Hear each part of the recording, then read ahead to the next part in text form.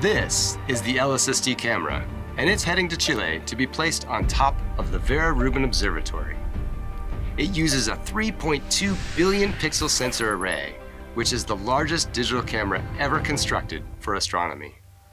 The purpose of the camera is to take one highly detailed picture of the entire southern sky every few nights, and then to do it over and over again up to a thousand times, creating an immense three-dimensional movie of the universe during the 10 years of its survey.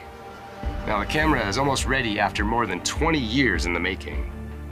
During the past two plus decades, in locations all around the world, teams of scientists, engineers, and technicians have been collaborating to make this all possible. Every few nights, it will capture an image of the southern sky, gradually compiling a time lapse that reveals the evolution of the universe.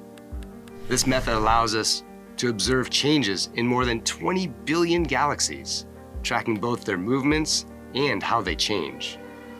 By repeatedly imaging the sky, we can study many different cosmological phenomena.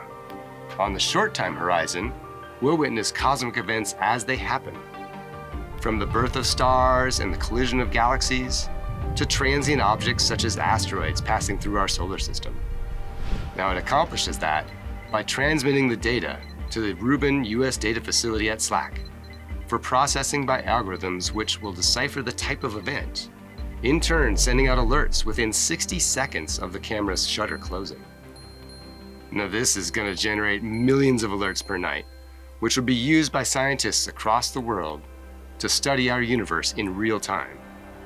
On the longer time horizon, this immense trove of data will allow us to study the evolving structure of the universe in order to better understand the nature of dark matter and dark energy, which are those elusive forces that make up most of the universe's mass energy content.